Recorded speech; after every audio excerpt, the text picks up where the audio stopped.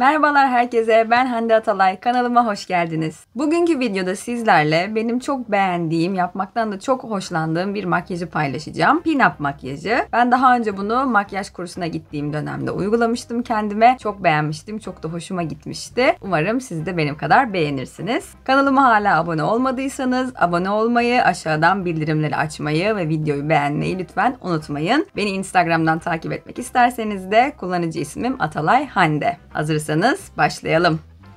İlk önce her zaman gibi primer ile başlıyoruz. Bugün yeni bir primer deneyeceğim ben de. İlk defa kullanacağım bu ürünü. NYX'in Angel Veil Primer'ı. Çok metine duydum bu primer'ın. İlk defa bu videoda denemiş olacağım ben de. Bu arada birazcık şundan da bahsedeyim. Bu pin-up terimi nereden geliyor, nereden ilk çıkmış?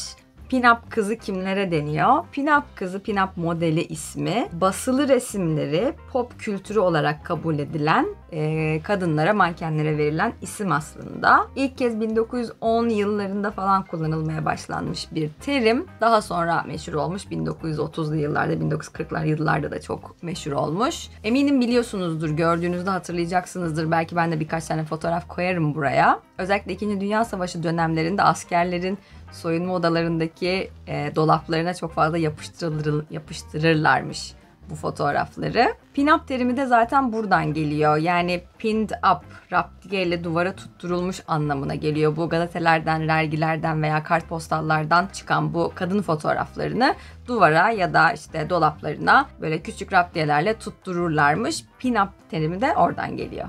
Makyajın özelliği de şu şekilde. Çok fazla pırıltılı bir makyaj değil. Daha mat hatta porselen görünüm tercih ediyorlar. Gözler çok ön planda. Kuyruklu eyelinerlar çekiyorlar. Kırmızı ruj olmazsa olmazı tabii ki de. Onun dışında çok ağır bir kontür veya e, şekillendirme yok aslında yüzde. Ben de bugün bu şekilde uygulama yapacağım. Kullanacağım fondöten L'Oreal'in Infallible 24 Hour Fresh Wear fondöteni.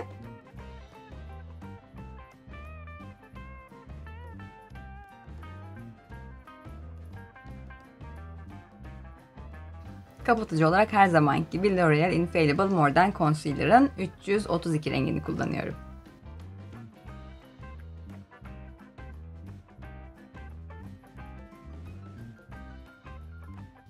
Makyajda daha mat bir görüntü istediğimiz için göz altlarımı her zaman gibi I Love Revolution'ın Banana Powder ile sabitleyeceğim. Daha sonra tüm yüzümü Wet n Wild'ın Pressed Powder'ını kullanarak sabitleyeceğim. Bendeki rengi E825C Ten Beige.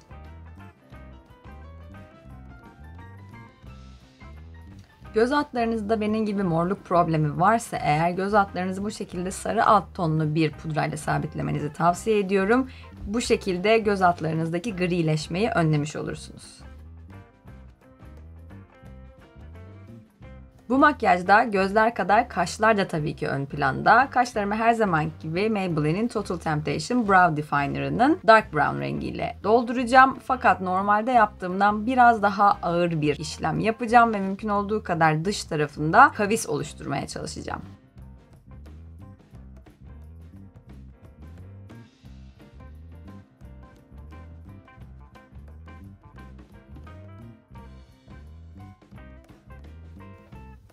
Gelelim makyajımızın en önemli noktasına yani gözlerimize.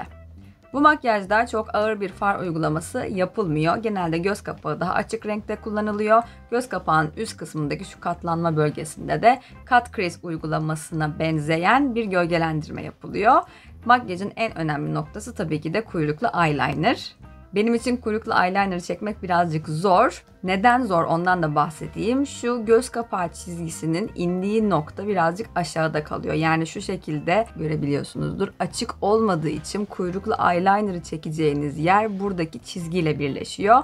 O yüzden biraz zorlanıyorsunuz. Çünkü bu çizgiyi göz ardı edip eyeliner çekmeye çalışırsanız üstüne düştüğü için çektiğiniz kuyruğun çok alakasız bir görüntü oluşuyor. Bugün birlikte bunu nasıl atlatabileceğimizi de çalışmış olacağız. Kullanacağım far paletini ilk defa kullanıyorum. Revolution'ın bir far paleti Forever Flawless Allure far paleti.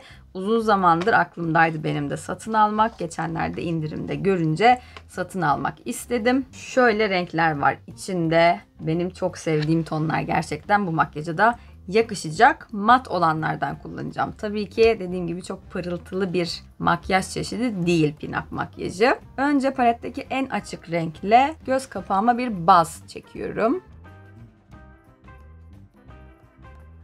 Daha sonra bir karıştırma fırçasıyla biraz daha pembe alt tonlu, pembe gül kurusu alt tonlu bir far alıyorum. Bu farı tam göz kapağımla katlanma bölgemin birleştiği noktaya sürüyorum. Ne aşağı indiriyorum ne çok yukarı çıkarıyorum. Şöyle bir çizgi oluşturmaya çalışıyorum. Daha sonra bunu dışarıya doğru dağıtacağım. Bu arada güzelmiş far paleti. Beğendim. Sonra boş bir fırça alıyorum ve şu üstte görmüş olduğunuz keskin farları dağıtıyorum. Çok ince bir fırçayla aynı farı bir kez daha geçeceğim ama biraz daha yoğun bir uygulama yapacağım. Biraz daha açık bir ton alacağım. Onu da şu şekilde dağıtmak için kullanacağım. Tombik bir fırça alıyorum. Diego'nun deyimiyle. Biraz daha koyultacağım sanırım. Bu geçişi bakalım nasıl olacak ben de bilmiyorum. Sanırım oldu.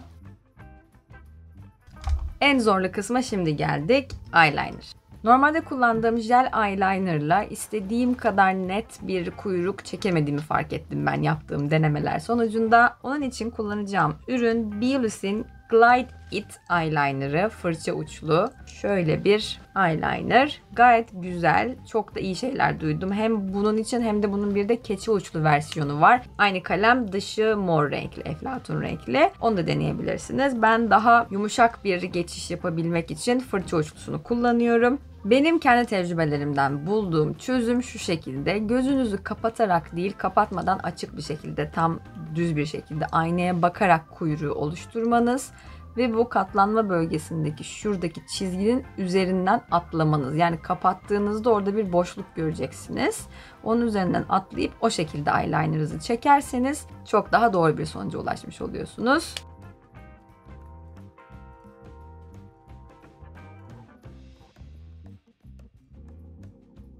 Gördüğünüz gibi kuyruğumuz bu şekilde. Ben tek gözümü kapatamadığım için elimle kapatacağım. Görmeniz için aradaki boşluğu görüyorsunuzdur sanırım. Bu boşluk size çok daha rahat bir çalışma sağlayacak.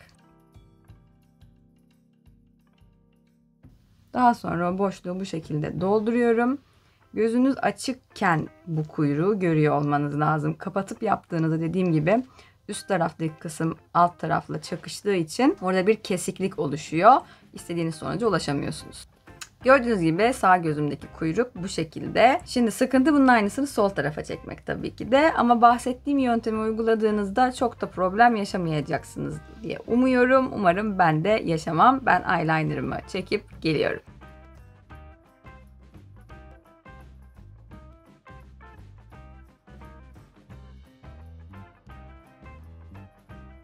Evet sağ gözümün eyelinerı tamam. Bir de şöyle bir uygulama yapmak istiyorum. Çok daha hoş gözüktüğünü düşünüyorum. Zaten normalde de yaptığım bir şey. Gözümün iç tarafına da biliyorsunuz eyeliner çekiyorum ama bu şekilde sıvı eyeliner çektiğiniz zaman gözünün içine bulaşma yapma ihtimali çok yüksek oluyor. O yüzden ben yine her zamanki gibi Maybelline'in siyah jel eyelinerını kullanacağım. Şu kirpik altındaki beyaz göz kapağı boşluğunu görüyorsunuzdur sanırım. Tamamen oraya uygulama yapıyorum. Evet üst iç tarafa çektiğim eyeliner'ın sonucu bu şekilde oluyor. Ben bu görüntüyü daha çok seviyorum zaten. Şimdi sol tarafında eyeliner'ını çekip hemen geliyorum. Eyelinerlarımız tamam. Göz altına normalde benim daha önceki videolarımı izlediyseniz biliyorsunuzdur. Ben göz iç tarafıma koyu renk kalem sürmeyi seviyorum. Fakat bu makyajda böyle bir şey yapmamız çok doğru değil. O yüzden göz altıma ten rengi bir kalem çekeceğim öncelikle. Bu kalemi Primark'tan almıştım. Daha önce herhangi bir ten rengi kalem kullanabilirsiniz. Göz altıma aynı far paletinden hemen hemen aynı renkleri kullanarak birazcık gölgelendirme yapacağım. Rimel olarak Essence'in I Love Extreme Crazy Volume maskarasını kullanıyorum.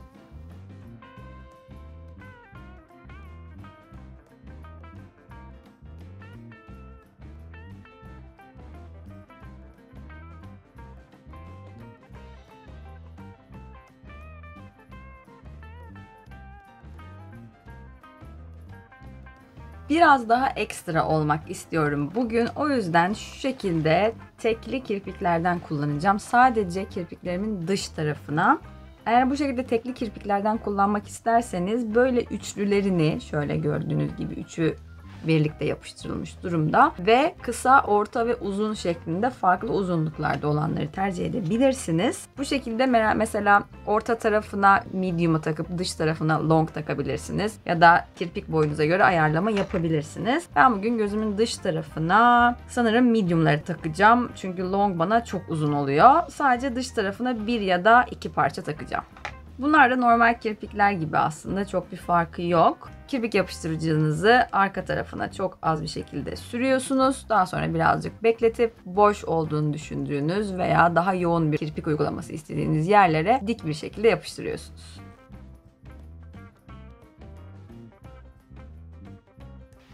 Bu kadar basit.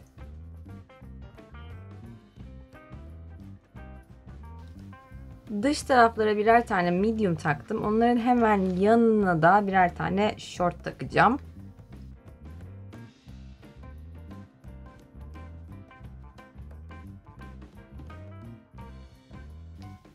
Eklediğim kirpiklerin üzerinden de çok hafif maskarayla geçiyorum ki kendi kirpiklerimle hemen hemen aynı gözüksünler.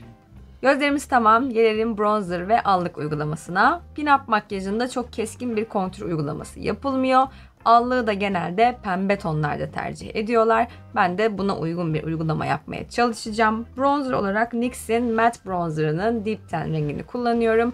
Şöyle tombik bir fırçayla bronzer uygulaması yapacağım. Genelde de şöyle yuvarlak hareketleri kullanıyorum ki çok keskin net bir çizgi oluşmasın.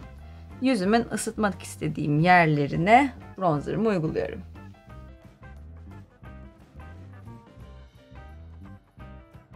Allık olarak da Flormar'ın Flashy Blush 02 numarasını kullanacağım. Pembe alt tonlu bir allık. Bu makyaja uyacağını düşünüyorum. Genelde de şu şekilde yanak bölgesine odaklanıyorlar. Çok fazla yukarıya doğru çekerek kullanmıyoruz allığı. Hatta şöyle biraz da burun üstüne getirelim. Gelelim makyajımızın bir diğer can alıcı noktasına yani kırmızı ruja. Daha önceki videolarımı izlediyseniz orada bahsetmiştim. Bu şekilde koyu renk bir ruj kullanacaksanız mutlaka dışından çerçeve yapmanız lazım. Ben hatta sadece çerçeve de yapmıyorum. Kullandığım kalemi ruj gibi tüm dudağıma uyguluyorum. Bu şekilde bitmiş halini çok daha net görüyorum ve daha sonra yapacağım ruj uygulaması çok daha kolay olmuş oluyor. Kullandığım kalem Flormar'ın 233 rengi klasik bir kırmızı kalem.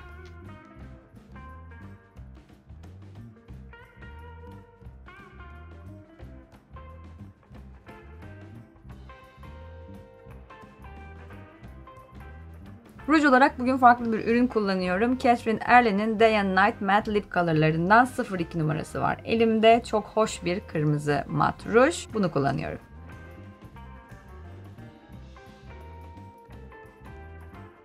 Son olarak şöyle bir ekleme yapmak istiyorum makyajıma. Biliyorsunuz ki o dönemlerde ben kullanmak çok moda bir şeydi. Ben de şuradaki benimi kahverengi bir kalemle birazcık daha belirginleştireceğim. Hatta bir tane de şuraya yerleştirebiliriz belki.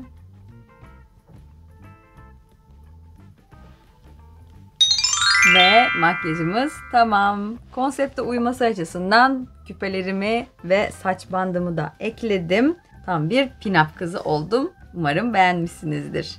Kanalıma hala abone olmadıysanız abone olmayı, videoyu beğenmeyi ve aşağıdan bildirimleri açmayı lütfen unutmayın. Beni Instagram'dan takip etmek isterseniz kullanıcı ismim Atalay Hande.